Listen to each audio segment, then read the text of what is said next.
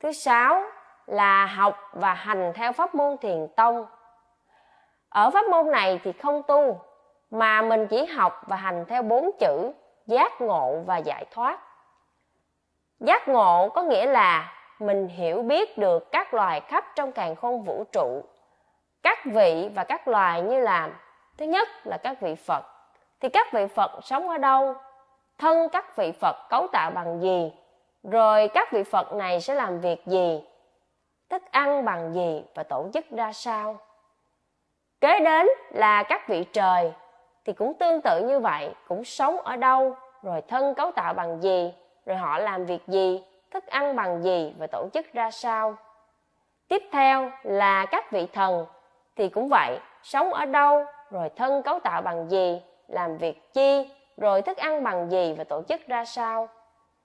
Kế đến là các vị tiên, cũng vậy, sống ở đâu, thân cấu tạo bằng gì, làm việc chi, thức ăn bằng gì, rồi tổ chức ra sao.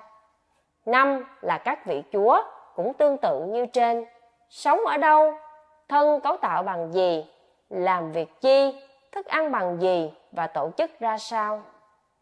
Còn giải thoát thì là chỉ biết đường trở về Phật giới được gọi là giải thoát. Rồi xin mời anh đặt câu hỏi tiếp theo.